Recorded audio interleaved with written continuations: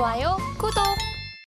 매일 아침 8시 반 찾아오는 센티멘탈 펀드멘탈 코너입니다. 오늘도 두 종목 가보겠습니다. 오늘은 센티멘탈로 한솔 케미칼, 펀더멘탈로 NH 투자증권 이렇게 두 종목 되겠습니다. 자, 한솔 케미칼부터 좀 볼까요? 제가 차트를 그려왔습니다만은 빨간 줄로 표시를 했습니다. 상당히 저조하다. 주가 성적이 말이죠.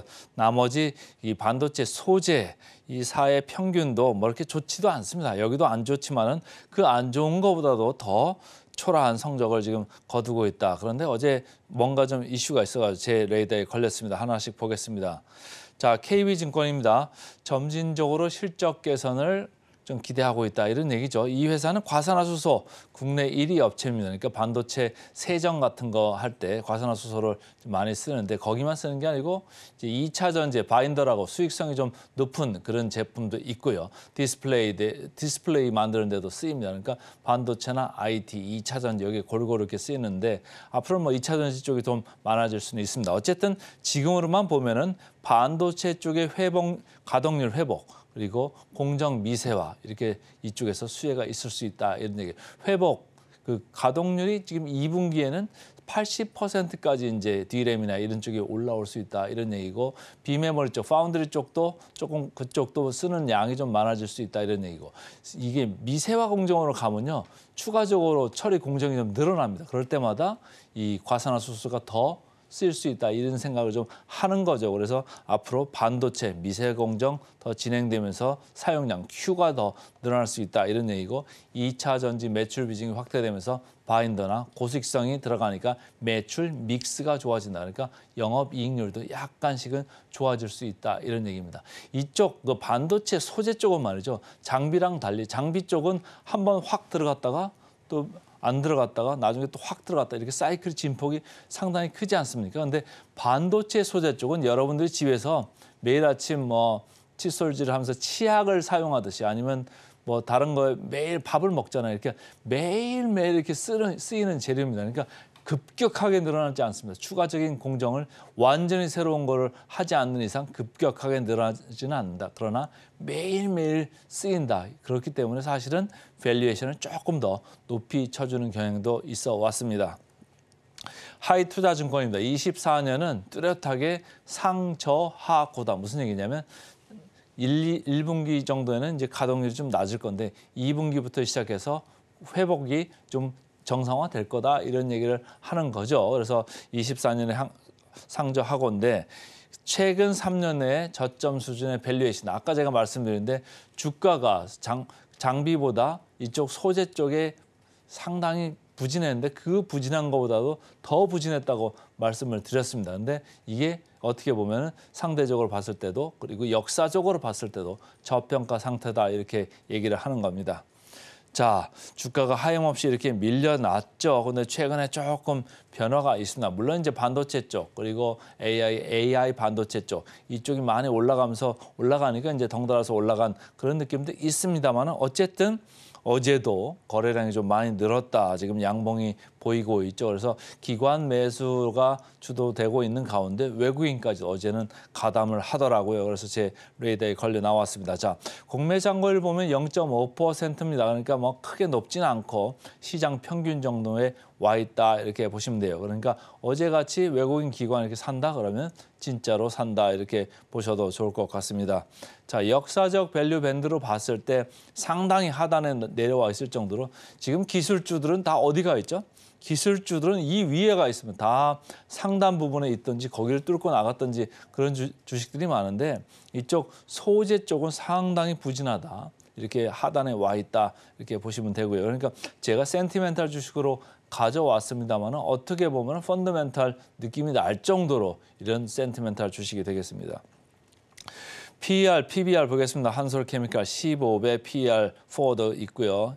PBR 2.1배입니다. 근데 이 회사는 RO이라는 게 20%가량 안 나오고요. 한 14% 내외 나옵니다. 그걸로만 봤을 때는 2.1배도 낮지는 않다 이렇게 보시면 되고요. 15.5배 또한 뭐 어, 시장 평균보다 상당히 좀 높죠. 한 40% 지금 높게 형성은 돼 있습니다. 그래 어쨌든 어제 외국인 기관 쌍끌이 매수가 나왔다 이렇게 읽으시면 되고요.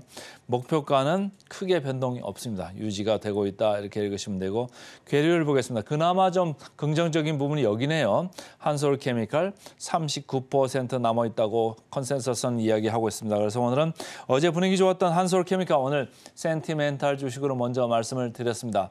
이제 펀더멘탈로 가겠습니다. 펀더멘탈 오늘도 저 PBR 주식입니다. NH 투자증권이죠. 빨간 줄로 제가 표시를 했는데요. 거의 금융주 12개사 제가 모니터링 하는 회사가 있는데 그 회사들의 평균하고 거의 맥을 같이 하고 있다.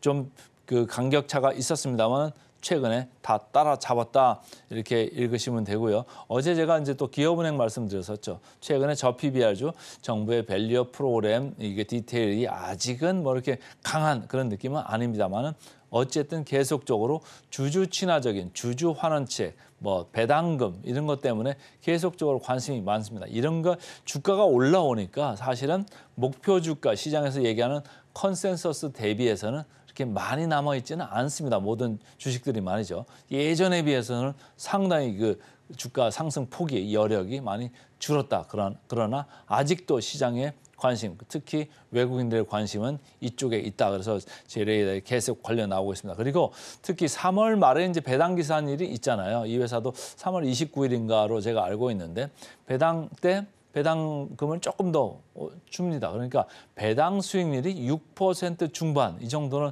나온다라고 생각을 하시면 사실은 상당히 좋은 거죠. 그리고 요즘은 배당을 1년에 한 번 주는 게 아니에요. 분기마다 주는 회사도 많이 늘어나고 있습니다. 그래서 저 PBR주를 S와 MN하고 이렇게 뭐 팔고만 있을 게 아니라 그 전체적인 주주 환원율 이런 것도 보시고 배당 성향도 보시고 배당 기대 수익률도 보시면서 계속적으로 어느 일정 부분은 좀 따라가실 필요가 있다 이렇게 저는 계속 말씀을 드립니다. 자, 이 차트가 오늘의 뭐 하이라이트인 차트 같은데요. NH 투자증권 12, 12개월 저점 대비해서는 지금 50% 정도는 올라와 있습니다. 이제 업계 중간 정도는 하는 거죠. 메리츠 금융주지가 114% 올라올 정도로 상당히 강했고 뭐 KB금융도 67% 어제도 뭐 상당히 불을 뿜었죠. 최근에도 계속 올라가는 이런 느낌입니다. 덜 올라온 쪽에서는 이렇게 보시면 삼성증권, 미래에셋증권, 신한지주 이런 회사들이 있습니다. 그러니까 많이 올라간 쪽도 이유가 있겠습니다만은 덜 올라간 쪽을 좀 보시는 게 어떨까 제가 오늘 힌트를 좀 드려보고요. 자, 키움증권입니다. 주주 환원을 확대할 거다. 그래서 배당기산일 3월 29일이고 여러 가지 본격적으로 주주환원 정책이 있다. 배당 수익률은 6% 중반 정도다 이렇게 읽으시면 되겠습니다. 주가가 최근에 계속 올랐고 어제도 상당히 많이 올랐죠. 외국인 기관의 쌍끌이 매수가 들어왔습니다. 공매장골 0.1%로 상당히 낮으니까 계속 진짜로 사는 거 맞고요. 주가가 좀 올라오기는 했죠. 그래서 중상단 쪽에 근처에 와 있다 이렇게 보시면 되고 PBR로 보겠습니다. 0.5이니까 다른 업계 평균보다는 사실은 조금 높아요. 근데 어쨌든 그 1배보다는 낮, 낮기 때문에 0.5배 좀 여전히 낮다. 목표가는 최근에 좀 올라오고 있습니다. 자, 목표가 대비 7%밖에 안 남았네요. 어쨌든 센티멘털 오늘은 한솔케미칼 펀더멘털로 NH 투자증권 두 종목 말씀을 드렸습니다. 좋아요, 구독.